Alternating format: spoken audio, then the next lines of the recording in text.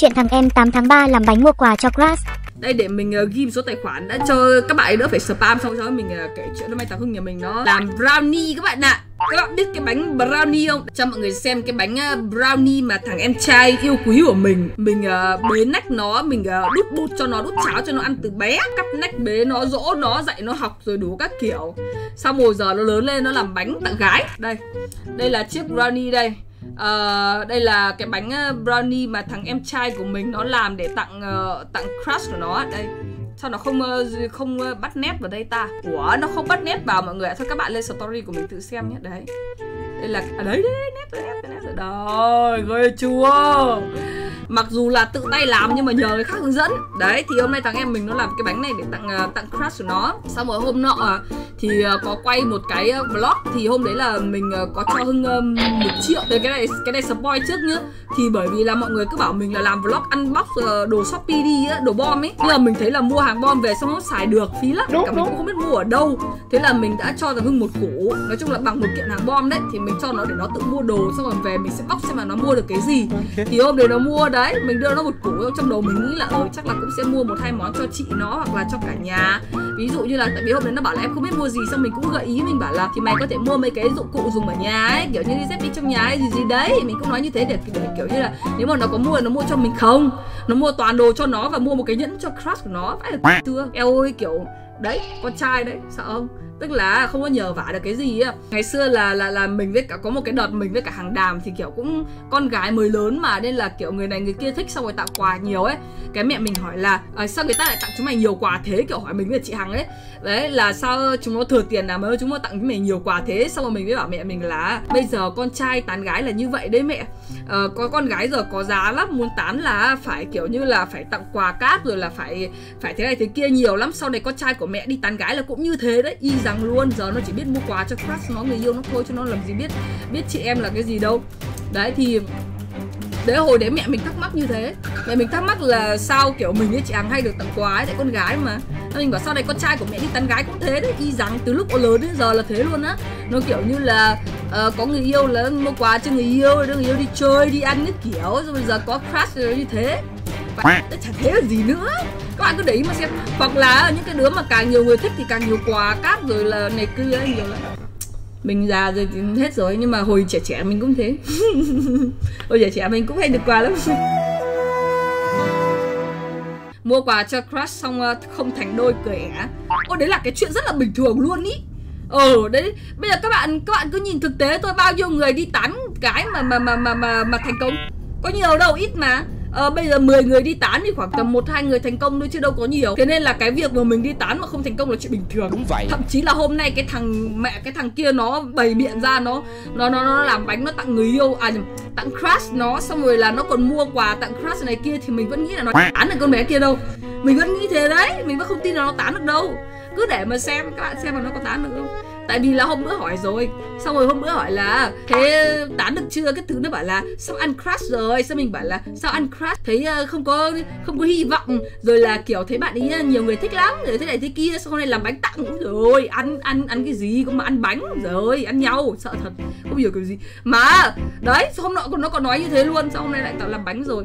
Không tán được đâu, các bạn cứ để mà xem mấy bữa nữa mình mình mình mình xem nó có tán không mình kể mọi người xem mình cũng không hỏi mình cũng không hỏi nhiều nhưng thỉnh thoảng thấy thế kể thế thôi Mày không hớt được đâu con trai Tôi bi không tình yêu Đau đớn vì cắt tóc xong bị chê, lông đầu.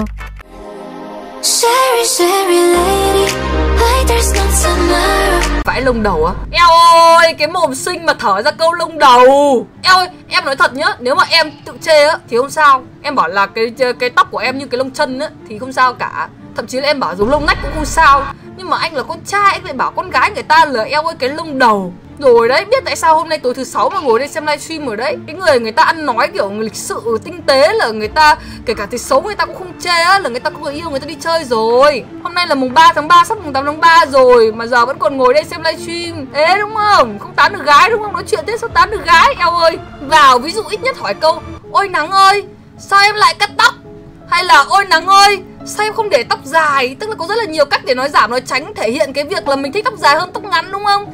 Kiểu như là nắng ơi anh thấy uh, tóc ngắn cũng dễ thương đấy nhưng mà tóc dài dịu dàng hơn. Ừ nắng ơi ờ em có cần tiền không? Anh donate cho em để em đi nối tóc nhớ. Anh thấy em tóc dài hình như là em thích tóc dài hơn phải không? Có rất là nhiều cách để mình nói khéo mà tại sao mình lại thở ra câu ôi lông đầu ôi lông đầu rất là buồn ý. Thề luôn nghe não hết cả ruột. May mà ăn tối rồi đấy. Không mà chưa ăn tối nghe câu đấy xong mà chán không muốn ăn luôn không muốn sống luôn. Không hiểu tại sao vào thở ra câu ôi lông đầu. Não hết cả ruột. Em ơi, em có thể bảo là tóc của em giống như cái lông chân hay là giống lông nách cũng được Nhưng mà anh đừng nói như thế, anh là con trai mà. Nhiều lúc kiểu mình thấy xấu mình vẫn phải giả vờ là khen ấy hay ví dụ mình ra ngoài mình thấy một cái đứa mà nó béo béo ấy mà mình cảm thấy nó cũng béo thật nó cũng hơi nhiều mỡ thật nhưng mà bảo là nhìn trông đáng yêu mà. Tức là những cái nó nó sẽ có một cái phần gì đấy mà một phần trăm tốt thôi mình cũng cố gắng là moi cái đấy ra. Ví dụ như là trong nó cũng mũm mĩm nó cũng đáng yêu nhưng mà 99% phần trăm còn lại là xấu đúng không? Thì mình cũng không nhắc đến cái 99% phần trăm kia mình phải bảo là ừ trông cũng đáng yêu mà. Đấy kiểu vậy. Ôi lúc đầu. Thương chị ghê, hai ngày rồi câu chuyện về mái tóc vẫn chưa vượt qua. Mẹ bây giờ chị ngủ mơ chị cũng thấy một con ma tóc ngắn đấy mà. Chị vẫn không thể nào mà chấp nhận được ấy. Đã bảo rồi phải mỗi các bạn không thích đâu, mình cũng không thích mà. Mẹ mình cũng thấy tóc của mình như thế Nhưng mà các bạn đừng chê, mình chê được rồi, mình tự chê được rồi Các bạn chê nữa mình trầm cảm đấy. Mẹ mai mình cọp suy ấy. Các bạn có biết là cái lông đầu này là nãy là vuốt bao nhiêu dưỡng rồi không? Nhưng mà nó không thể nào cứu vãn được. Nói chung là nước sông thì không thể uh, uh, sánh với cả đại dương được. Đấy nó chỉ như này thôi. Nó hơi sù sù ấy mình không biết tại sao nó lại sù sù như là cái lông chân nữa. Tức là ngày xưa cái lúc mà tóc mình dài nó cũng không như này đâu hay là tại sao nhỉ? Mình nghĩ là do ăn uống hoặc là do gì đấy hoặc là do mình à, vào viện xong người ta tiêm cho mình cái uh, thuốc kháng sinh xong rồi tiêm thêm cái thuốc quần què gì xong rồi làm cho tóc của mình nó xù lên với cả nó dựng lên ấy. Chứ bình thường cái đoạn này nó cũng không xù như thế đâu. Cái đoạn mái này này ngày trước nó cũng mượt mà làm gì đến cái mức mà mẹ rú lên trông như giật điện như thế này. Trông nó cứ xòe xòe xòe ra ấy cái gì á. Ồ ảo ma từ đấy, mình tưởng cắt đi nó phải mượt hơn chứ, cắt đi nó còn xù hơn cả lúc trước cắt nó không hiểu cái gì. Anh nghĩ nắng hạn chế tẩy tóc thôi em ạ. À. rồi làm giờ làm gì còn tiền tẩy tóc nữa rồi em để nguyên này rồi. Không tẩy nữa. Chị nắng lên đây để nổ để nổ sao chuyện, gửi những điều hay, ý đẹp đến mọi người. Thế mà có ông bảo chị nắng là lông đầu. Lông đầu cái đủ bá mày lại còn nhấn mạnh lại nữa. Ôi, em cũng thế, hồi tóc ngắn như dễ che ấy để dài tự nhiên mượt mà vô cùng á. À thế à? Ơ thế là không phải là mỗi mình đâu đúng không? Thế tức là ngắn thì là nó sẽ nó sẽ sun sun lại như cái lông chân còn dài thì nó sẽ dài thì nó sẽ mượt đúng không? Chết mẹ rồi, thế là mình bị lừa rồi. Thế mà bà cắt tóc bà ấy kêu là cắt ngắn đi thì nó mới mượt. Còn em để dài thì cái đuôi đấy nó cứ như thế mãi. Nó là cái đuôi tóc chết rồi làm sao mà nó làm sao mà nó mượt được? Ờ em phải cắt đi. Thế là mẹ mình nghe xuôi xuôi mình cũng vâng. Thế cắt cụt phát mẹ mà còn có gần này Xong bây giờ mấy cái phần còn lại nó cũng xù lên luôn. Hôm nào tôi đi công tác ngoài đó tôi alo nắng off fan cái nở à Thôi bạn ơi Bây giờ mình không còn mặt mũi nào để ra ngoài đường nữa rồi, Bạn nhìn cái quả lông đầu này của mình này. Bây giờ mình mới chỉ ngồi livestream thôi, Mà cái livestream là cái mà, kiểu, dễ dàng cho người ta chấp nhận cái sự, gọi là, bôi bác nhất rồi. Tại vì bình thường ngáp hay là ngoáy mũi hay là thiếu mỗi quả đánh giám nghe tiếng thôi. Là trò gì cũng làm trên stream hết rồi, Người ta vẫn còn đánh giá lông đầu. Thì bây giờ bạn bảo mình vác cái quả đầu này ra ngoài đường để người ta mẹ ừ, chửi chết mình là không được, Mình không mình không đủ can đảm để mang quả đầu ấy ra ngoài đường ấy Nhục nhã lắm. Kiểu tóc mà và khuôn mặt nắng đúng gu của anh rồi Mặc kệ mấy người khó tính kia đi à Đúng gu thì donate đi à. Nắng để tóc bầm sư tử à? Không anh ạ, tóc này là tóc uh, tóc Shizuka. Tóc Shizuka đây uh, Mình sẽ buộc như này thành Shizuka này. À, Mình sẽ buộc như này thì thành Shizuka. Cái lục á. Em ơi, mình thấy mình trông như một trò đùa ấy Thế, mình thấy mình như một trò đùa luôn ý Mình 25 tuổi rồi mọi người. Bây giờ thì đầu tóc của mình trông như một con dở người. Xong rồi mình vẫn ngồi đây mình uh, thao thao bất tuyệt Mình nói sầm xà lơ rất kiểu. Không bao giờ mình mới lấy chồng được. Nhiều lúc mình cũng hơi phân vân về cái việc là mình có nên thay đổi bản thân không. Tại vì là uh, đồng ý về cái câu là hãy là chính mình đúng không? Ok, chấp nhận. Thế nhưng mà không phải hoàn cảnh nào cũng nên là chính mình. Nếu mà mình cảm thấy nó ảnh hưởng cuộc sống của mình quá Thì mình nên suy nghĩ lại thì mình thấy là kiểu mình ờ, ế quá. Với cả mình kiểu như là vất vả quá long đong lận đận quá. Mình hy sinh quá nhiều cho cái công việc và cho tương lai nhưng mà đến đâu? Ờ, ví dụ như là mình thành công mình giàu có thì chả nói. Đây mình vẫn cứ long đong lận đận mà mình vẫn phải hy sinh. Thay vì thế thì mẹ mình nuột nà mình thướt tha đi. Ờ, bao nhiêu tiền mình đắp hết vào người đi. Mẹ thay vì gọi là cầm tiền đi uh, mua cái này mua cái kia để quay vlog thì mẹ mình đi đập mình ờ, đập vào mặt xong rồi mình đập vào người đi. Mình đi mẹ độ loa độ mông các kiểu đi. Thì có phải là giờ mình có người yêu rồi mình có người lo cho không? Cái bây giờ mình đi làm xong rồi bôi bạ bôi ra chả đến đâu cả. Thế là thấy nó cứ thấy nó cứ vất vả ấy xong mình cũng suy nghĩ là mình có nên mẹ thay đổi cuộc đời của mình hay không nhỉ? Ở ờ, kiểu khởi nghiệp ấy. Đúng không? Kiểu mình đi ờ, độ lại cái con người xong rồi là xây dựng hình tượng cô gái sang chảnh quyến rũ xong rồi chỉ xài hàng hiệu đâu có xài hàng lởm nữa. Đấy, xong rồi chụp ảnh chụp cái nào là sexy cái đấy quyến rũ cái đấy xong rồi đăng mấy cái caption thả thính lên thì có phải là mẹ bây giờ cuộc sống nó đã sang một trang mới không? Chứ mẹ thấy cái sự hy sinh của mình nó không thấy kết quả gì cả. Khủng hoảng tuổi 25 cái gì khủng hoảng tuổi 25 nữa? Đồ ma đang đau bụng đấy cứ bắt cười mẹ thế nhỉ Khủng hoảng tuổi 25 mình nghe nó đau khổ đấy nhỉ Mẹ đến cái độ tuổi này mình phải thừa nhận đấy. Các bạn là tuổi nào cũng khủng hoảng hết. Nghèo nó khủng hoảng đấy. Tức là ngày xưa mình ờ, có một cái đoạn mà mình cảm thấy là con người của mình thay đổi nhá Suy nghĩ của mình thay đổi, mindset của mình thay đổi nhá. Mẹ mình cảm giác như là mình mẹ được giác ngộ rồi á. Lúc ấy là khoảng 22, 23 tuổi à? Không biết nữa nhưng mà mình cảm giác là Mới lớn hơn tí cái thế mình thay đổi. Sau bây giờ lại thấy thay đổi tiếp thì tức là nó không phải là thay đổi một lần trong tuổi trẻ đâu Nó cứ thay đổi nhiều nhiều đấy. Nhưng mà đúng là khủng hoảng thật. Đang tuổi 25 cũng thấy nó cũng hơi khủng hoảng. Bây giờ thì thấy hơi hoang mang không biết được nữa. Đang đứng giữa ngã tư, à ngã ba. Không biết là mình nên rẽ đường nào. Cảm thấy là mình ờ, không đủ ờ, chín chắn trưởng thành sang chảnh để đi theo cái cái cái cái hình ảnh mà người phụ nữ trưởng thành hay là người phụ nữ quyến rũ gì gì đấy. Mà trẻ trâu thì nó cũng nó kiểu gì ấy, nó kiểu như là mẹ hỗn tạp nó pha tạp với xa xa Cuộc sống đảo lộn khi có mẹ lên chăm. À đúng rồi, thì kể cho mọi người nghe. Mẹ mình ở trên này một tuần rồi. Mẹ mình ở trên này một tuần rồi Thì trước khi mẹ mình lên đây á Là từ trước đến giờ nhà mình sinh hoạt như nhà trọ luôn. Là phòng đứa nào ở phòng đứa đấy Không có cái gì kiểu sinh hoạt chung hết là Đứa nào là ăn ăn riêng này Ngủ riêng này, ở riêng này, làm việc riêng này. Tất cả mọi thứ là cuốn gói trong một cái căn phòng luôn.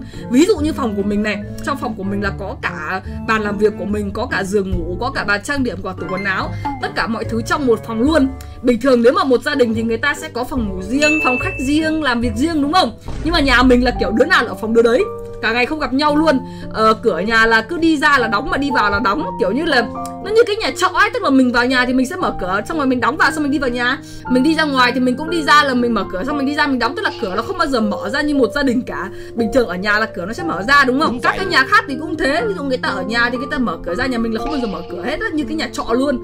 Thế thì cái, cái lúc mà mẹ mình lên trên này á là mẹ mình lên đây một tuần rồi. Là mẹ mình lên đây thì là bọn mình hay xuống dưới nhà kiểu dạng là mọi người tụ tập ở dưới nhà kiểu ăn uống rồi ngồi nói chuyện các thứ, thì mẹ mình sẽ mở cửa nhà ra để cho nó thoáng. Ấy xong rồi hôm nay, cái lúc mà có cả mẹ mình, có cả thằng hưng, cả chị hằng, cả mình ngồi ở dưới nhà ấy, thì có một anh anh shipper, lúc ấy cửa vẫn mở nhé anh shipper, anh đi đến. Anh đi đến sau anh đỗ xịch cái xe ở trước cửa nhà mình.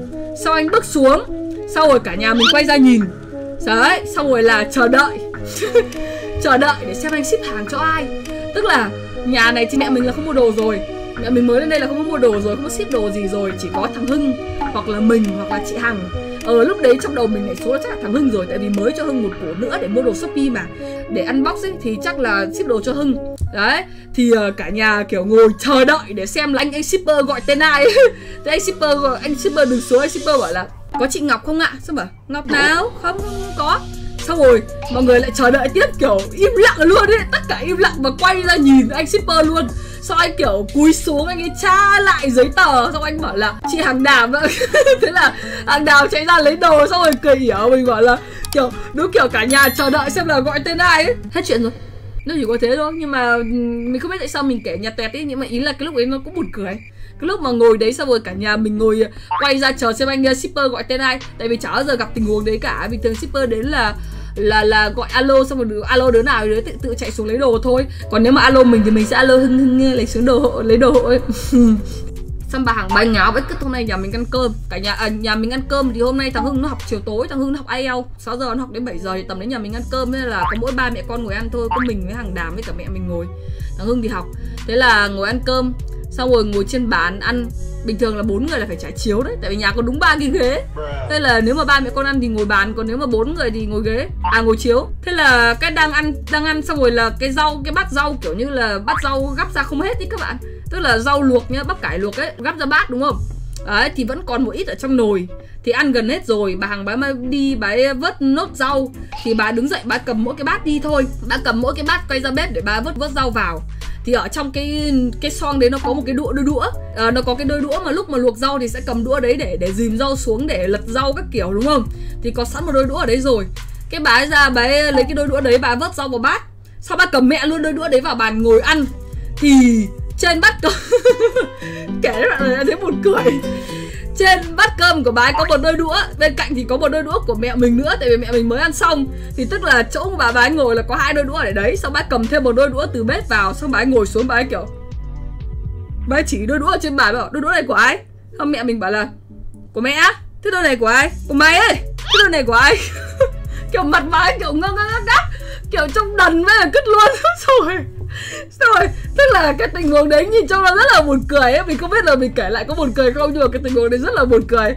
Bà ấy cầm, bà ấy cầm cái đôi đũa găm rau vào. Ở đôi đũa này của ai? Xong nhà mình bảo, của mẹ đôi đũa này của ai? Này, của mày đấy thế đôi này của ai? đôi đũa xong rồi không mà kiểu ngơ các nhìn nhau xong bạn đôi ở nồi rau. Trời ơi sao bà cầm cái đôi đũa ra? Kiểu bà ngơ ngác xong quả đến mình biết hàng đào cười. Thế là cười xong rồi là kiểu cười kiểu cười dai ấy cười kiểu cười sắc sụa ra. Xong rồi cười chán chê rồi thì mình thì mình lại được cái cười dai. Bà ấy cười xong rồi bà ấy uống miếng canh xong mình lại cười. Thế là bà ấy sặc mẹ luôn bà ấy ngồi ho mất bao nhiêu phút. Cười kiểu kiểu cứ ngao ngáo ngáo thế nào ấy. Tôi hiểu tôi hiểu cảm giác ý nhiều lần thế á. Cũng hơi buồn cười á. Tại vì là phải nhìn thấy cái hoàn cảnh đến nó hơi buồn cười ấy. Kiểu bà ấy cứ ngao ngáo ngao ngờ sao ấy. Chị cái tâm nhìn sinh đã hỏi thế á? Thật à? Ha. Hả? Những lời lẽ đê tiện gì cũng nói ra được sao? Hi.